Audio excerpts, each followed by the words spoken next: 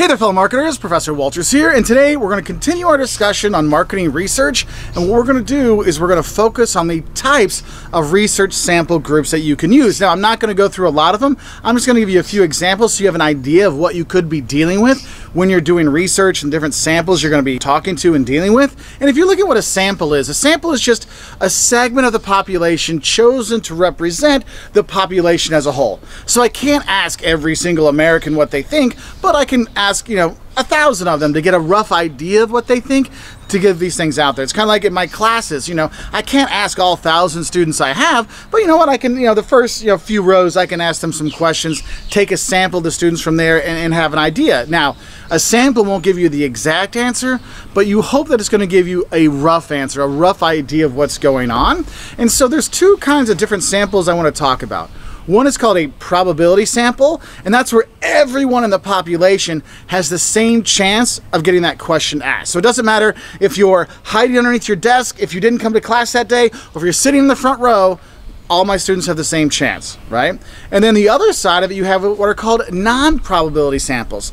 This is when not everyone has the same probability. And, and usually that happens because it's too costly for me to go to everybody's house and find them and be like, hey, you know, Soraya, I didn't see you in class this morning. Could you answer the survey? So you start to see it's like, wait, it's not always possible to do everybody. But if we go to these probability samples, that would everyone has the exact same chance. Like this is one you kind of think that they're doing when you hear about polls online and polls in newspapers, but it's not really happening that way. Okay, it's very hard to do this because you have to have everyone has to have the same, you know, chance. I mean, how many of you answer that random phone call that says, mm, spam risk? No, that could be a survey person. So not everyone does it, okay? So if we look at it, you have what's called a simple random sample. This is one where everyone has the same equal chance of getting picked, right? So it doesn't matter if you're li living underneath me, below here, or you're standing next to me, you have the same probability. Not usually the case, but that's the theory behind it, okay? Now the next one you have is what's called a stratified random sample. And here what you do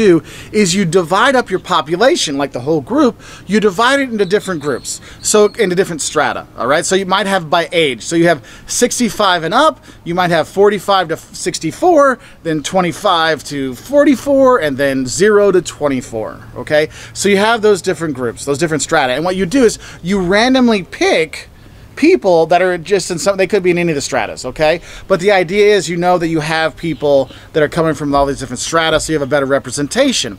But you do want to stratify it to see it's like hey are we getting people from these different you know groups? So it makes more sense because if we're not getting people that are plus 65 or we're not getting people 25 to 44, do you really think it's a good sample, right? So you want to think about that. And then you have what's called a cluster sample. And this is where you, again, have that same kind of strata or groups, but you only focus in that one group. So this could be when we look at, let's say we, we divide our, a city. We got the, the south side of the city and we've got the north side of the city, and we only ask the south side of the city what they want. It's a cluster sample just with that. So we divided it up, but now we're only focusing on this cluster. We're only asking here, okay? So you have that. But again, in a cluster sample, this is all a probability sample. So everybody in that group we're picking from has the same possibility. Now, in the non-probability samples, when not everyone has the same probability, these are the more realistic ones. This is what actually happens, okay? And, and so you have one that's called a convenience sample, which just by the words, you can tell. Convenience sample, that must be the easy one. Yes, it is the easiest one. This is, you know, the easiest people that, the first people that come by that answer my questions. I'm filming this video at 8 o'clock in the morning on Tybee Island in Georgia in the summer. This is a beach vacation community who do you think is going to be up at 8 a.m. on a Friday morning on a vacation town? So if they're riding by, they're probably healthy. They probably didn't go out last night. I mean, their Coke is just Coke. But I'll just pick those first 10 people. Do they really represent, if I want to like do marketing research for families that go to Tybee or party people for Tybee, is doing a convenience sample at 8 o'clock in the morning, whoever walks by, going to be the best one? That's what you have to worry about because it's just whoever answers. Just like I don't answer the phone if it's a number I don't know, and you probably don't either. But there are people that do, and that's why you'll see it's like wow, those poll numbers they have for that thing on the newspaper seem kind of strange. Well, it depends who answers the phone, right? And so you look at that. But for a lot of businesses, convenience samples is just the easiest way to do it. It's convenient. So you might just ask, hey, we're going to ask all the customers that come in today. It might not be a typical day. We might have our best customers coming in today, but it's fine. This is who's here today. We're going to do that. So it's convenient to us, okay? Then the next of the non-probability samples, we have what's called a judgment sample. And here you kind of judge who would make up a good kind of breakdown of our group. I think I think that would be a good customer. I think that's a good customer. I'm going to ask them what they think right? And so your judgment comes in here. And of course, our judgment isn't perfect. And so that will influence this sample group that we choose from the population.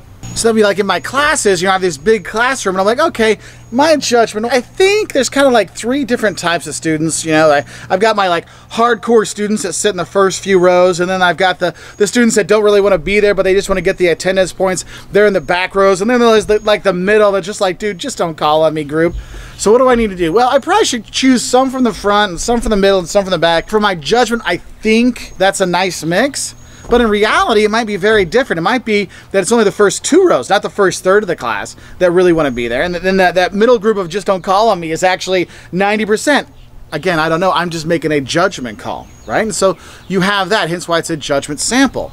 And then you have what's called a quota sample. And here's where you're getting a specific number of people for each sample, okay? So if you look at it in kind of like election polls, so like, oh, well, we've broken it down by registered voters and their party affiliations. We have 100 people surveyed, 40 people are Democrats, 25 are Republicans, and 35 are independents. And we asked them, how are they going to vote in this election? And they're doing that because they look at their numbers. Ah, quota, like a percentage of people that vote that are that registered Democrat, that registered Republicans, that are independents. We use that. So we try to make the quota system kind of relate to what's there, okay, or relate to the overall population, okay? So these are just a few, and there's a lot more other kind of samples you might see. And of course, there's going to be biases in all of these. You know, my judgment might be biased, and, and the quota sample might be biased, and the convenience sample is just whoever goes by. So you have to realize that's why they have that margin of error. You'll see, they'll say, oh, margin of error plus or minus 6%.